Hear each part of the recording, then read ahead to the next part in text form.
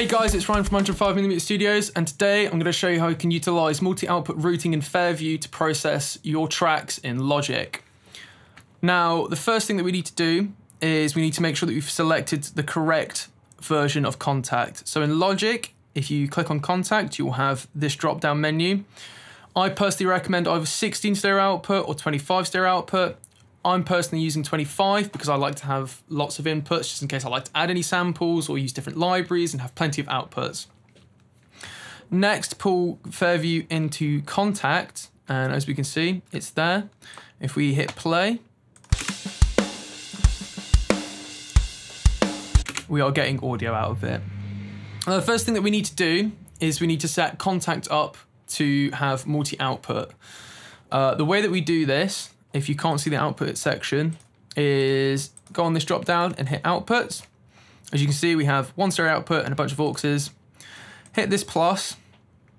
Now, because I used the 25 channel version of Kontakt, I'm going to put that up to 25. Number of channels is two, so that's left and right for each output. Next, we have to hit one on sound card host output and make sure ascending output assignment is selected. Make sure delete existing channels before creating new ones is selected so there's no duplicate channels. And for me personally, I like to make this configuration default. Anytime you load up Kontakt, it will automatically have everything set up for you so you don't need to do this every single time. Hit OK. This pop-up will pop up telling you that the output configuration was saved as default. Hit OK. And as you can see, all of our channels have been created down here. Next, in Fairview, if we hit main mixer uh, and then looked down, we can see all of our outputs for each channel strip. Uh, luckily, they made a multi-out option, which assigns 1 to 14 automatically for you.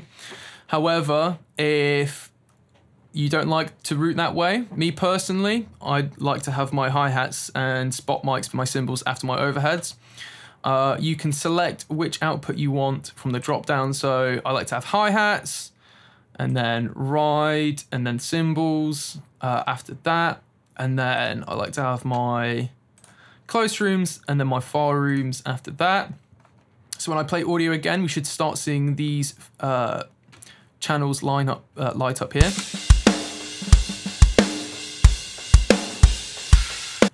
Awesome.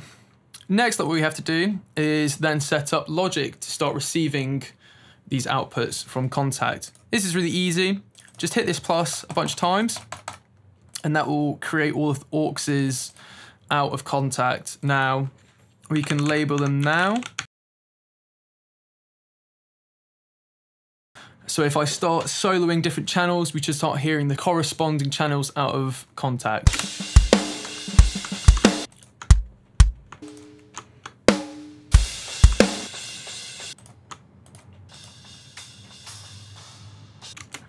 Awesome. And room close.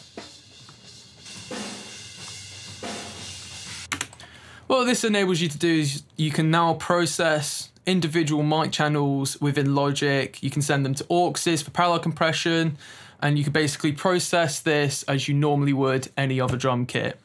So I hope you found this tutorial useful, and I hope you enjoy using Fairview as much as I have been, and I will see you later.